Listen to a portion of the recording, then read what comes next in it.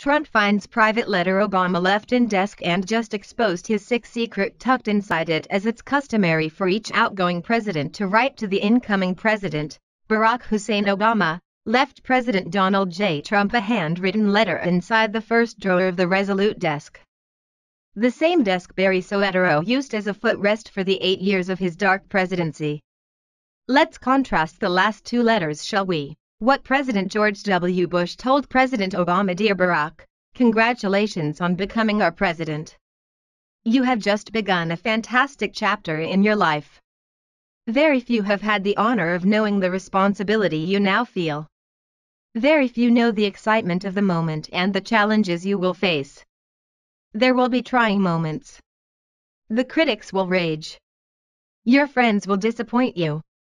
But, you will have an almighty God to comfort you, a family who loves you, and a country that is pulling for you, including me. No matter what comes, you will be inspired by the character and compassion of the people you now lead. God bless you.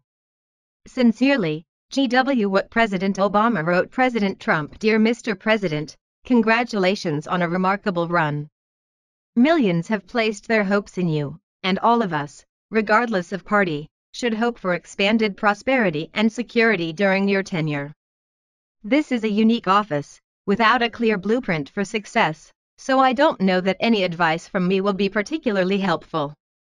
Still, let me offer a few reflections from the past eight years. First, we've both been blessed, in different ways, with great good fortune. Not everyone is so lucky. It's up to us to do everything we can to build more ladders of success for every child and family that's willing to work hard. Second, American leadership in this world really is indispensable. It's up to us, through action and example, to sustain the international order that's expanded steadily since the end of the Cold War, and upon which our own wealth and safety depend. Third, we are just temporary occupants of this office. That makes us guardians of those democratic institutions and traditions like rule of law, separation of powers, equal protection, and civil liberties that our forebears fought and bled for. Regardless of the push and pull of daily politics, it's up to us to leave those instruments of our democracy at least as strong as we found them. And finally, take time, in the rush of events and responsibilities, for friends and family. They'll get you through the inevitable rough patches. And finally, take time, in the rush of events and responsibilities, for friends and family. They'll get you through the inevitable rough patches. Michelle and I wish you and Melania the very best as you embark on this great adventure, and know that we stand ready to help in any ways which we can. Good luck and Godspeed. No, what a contrast. George W. Bush wrote a nice, short, and personal warm letter where he doesn't give any advice whatsoever on what to do as far as policy is concerned. But Barry just can't seem to control himself. He just had to go into political issues and suggest that President Trump is an elitist rich guy who has no idea what being a normal person is like. And let's not forget the civics lesson he tries to give President Trump. All this from the person who once said the Constitution kept him from doing what he really wanted to do. The Truth Server report Obama, Constitution won't let me force Congress to do what I want. We have a sitting president complaining about and denigrating the founding document of our nation. That damn Constitution with all its checks and balances, Obama seemed to be saying on the Today Show this morning with Matt Lauer. It turns out that our founders designed a system that makes it more difficult to bring about change than I would like sometimes.